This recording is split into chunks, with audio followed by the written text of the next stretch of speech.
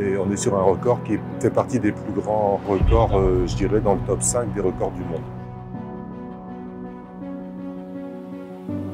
Et on n'est pas loin du temps euh, du Tour du Monde, puisque Giovanni a mis 36 jours et, nous on a mis 40 au Tour du Monde. La distance est un peu plus faible, mais en réalité on est euh, sur un temps très long parce qu'il y a des passages très difficiles comme le détroit de la Sonde, comme le passage de Bonne-Espérance. L'origine de l'histoire, euh, bah, c'était des grands voiliers qui régataient entre eux pour euh, amener le thé le plus vite possible sur la place de Londres.